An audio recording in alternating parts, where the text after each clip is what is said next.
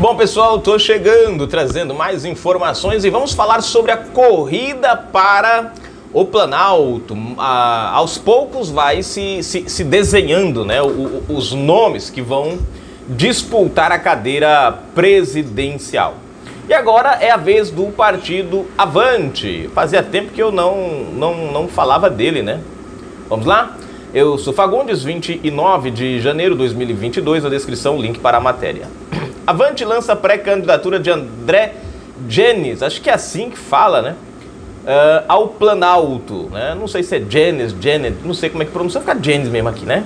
Vamos à matéria, se inscreve, comenta, compartilha, deixa o seu like, seu dislike. Uh, o sininho das notificações aqui embaixo para receber todos os nossos vídeos, comenta, compartilha. Uh, não esquece de uh, chave Pix conta bancária, seja um patrocinador do nosso canal e a lojinha no topo dos comentários e na nossa descrição, tá? Entra lá, compra pela nossa lojinha e ajude o canal. Tem a nossa live hoje, dia uh, hoje, uh, hoje dia 29, nossa live às 21 horas, hein? Conto com você. Gosta de ver os seus comentários lidos, respondidos, participar do debate da live? Aqui é a live certa para você. Às 21 horas hoje, hein? Daqui a pouquinho. Vamos lá. Deixa eu ver. O deputado André Jennings, Avante Minas Gerais, lançou neste sábado, 29, hoje, sua pré-candidatura à presidência da República. O nome foi referendado no encontro nacional do partido que ocorreu no Recife. Jennings está no primeiro mandato na Câmara dos Deputados e é um dos parlamentares que gera maior engajamento nas redes sociais, com 13 milhões de seguidores no total. Deixa eu ver aqui. O deputado ficou sob os holofotes em 2018 durante a greve dos caminhoneiros, quando gravou vídeos e se tornou uma espécie de porta-voz da categoria. Durante a pandemia, ele ganhou destaque por realizar lives sobre o auxílio emergencial que acabou virando uma de suas principais bandeiras. Um dos vídeos sobre o tema teve mais de 3 milhões de visualizações. né? Um, advogado e ex-cobrador de ônibus, o deputado foi filiado ao PT.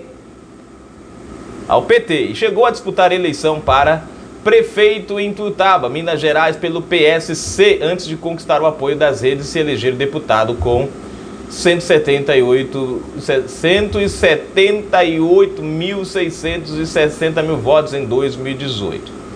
Agora aqui, gente, eu, eu, eu, confesso até que eu, até, até esse ponto aqui eu vim até meio que falar, pai, o camarada até. Agora, deixa eu só voltar aqui, ó. Cadê? PT. Qual foi o outro partido aqui que ele. Deixa eu ver. PSC. Né? PSC. Já, já me desgostou, já, já, já me desgostou, como diz o já me desgostou né, a, a, a, o menino.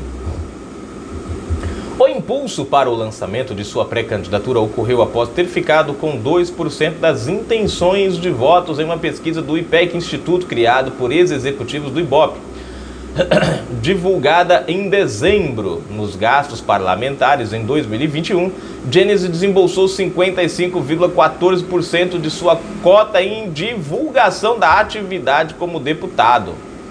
Número, a, ó, número superior à média da casa de 31,47%.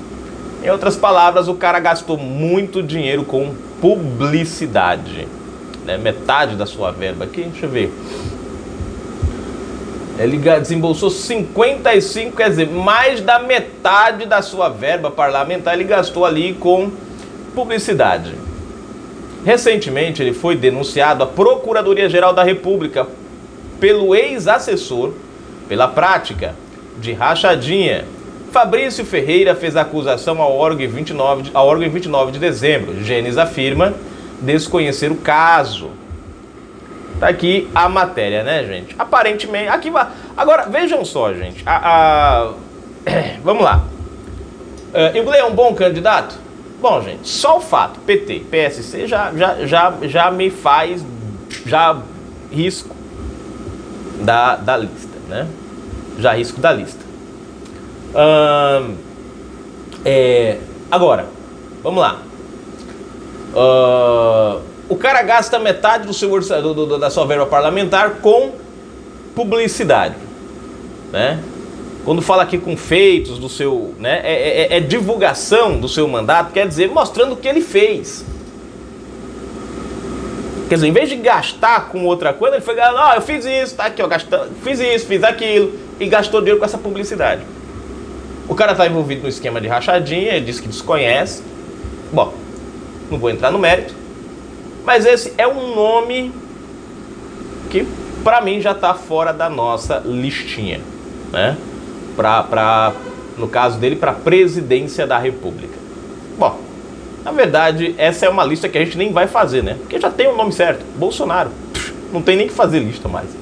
Ele deveria tentar se candidatar novamente a deputado e também estaria fora da nossa lista de possíveis candidatos a votar. Estaria na lista de não. Gente, avaliemos bem os candidatos que nós vamos dar os nossos votos em 2022. Esse aqui, obviamente, está fora de cogitação, já que ele vai disputar a vaga do presidente Bolsonaro. Então, já, né, tipo, sumariamente, já nem, nem, nem, nem, nem vamos discutir o assunto. É Bolsonaro e acabou. Né? Agora, para deputado, senador, fiquem de olho. Governadores, fiquem de olho. A gente está fazendo uma listinha aqui e vamos tocar o barco. Bom, não na descrição, Chave Pix, conta bancária. Seja um patrocinador e um apoiador do nosso canal. Dessa força, porque a gente precisa muito do seu apoio. Ah, no topo dos comentários e na descrição, o link da nossa lojinha, gente. Compre através da nossa lojinha. Você vai comprar de uma grande varejista, já confiável, já compra através dela. Só que pelo nosso link você ajuda o canal, tá bom? Um abraço, fiquem com Deus. Fui. Lá você encontra de tudo para sua casa.